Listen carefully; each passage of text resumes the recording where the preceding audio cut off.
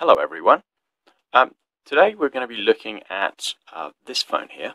Um, I bought this off a guy in Jordan in the Middle East uh, not too long ago. It arrived a couple of weeks ago.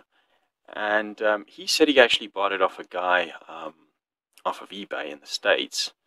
Um, and I asked around and he said he bought it in a state sale.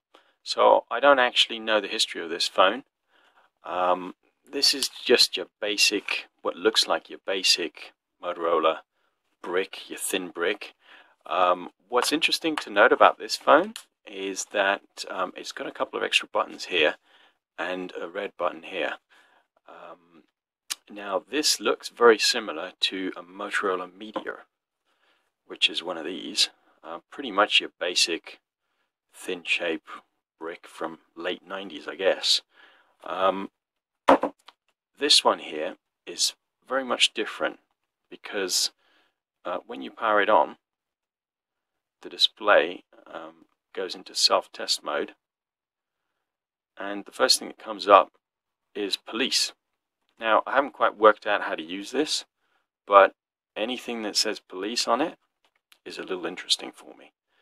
Um, so this obviously came from Public Service Company of Colorado Maybe this was police force in Colorado's phone. It certainly looks like um, some sort of radio function because when you press it, you get the TX light come up. And TX means transmit. Um, I haven't quite worked out how to use this yet. Um, so if anyone has some info, um, leave a comment and get in touch. Um, this is a Motorola PFD 3000. Um, so I'm I'm not sure this is the original antenna that originally came with it. It looks to be really good shape, so maybe this was one that the guy put on. Um, um, so just going to try and get this to do something.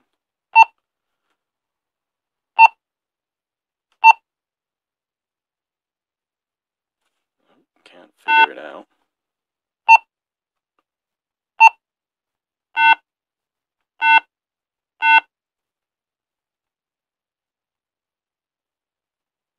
Some reason it powers off every now and again.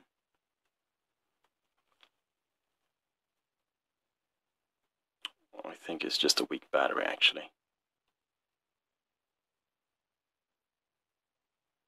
So yeah, I haven't quite figured out.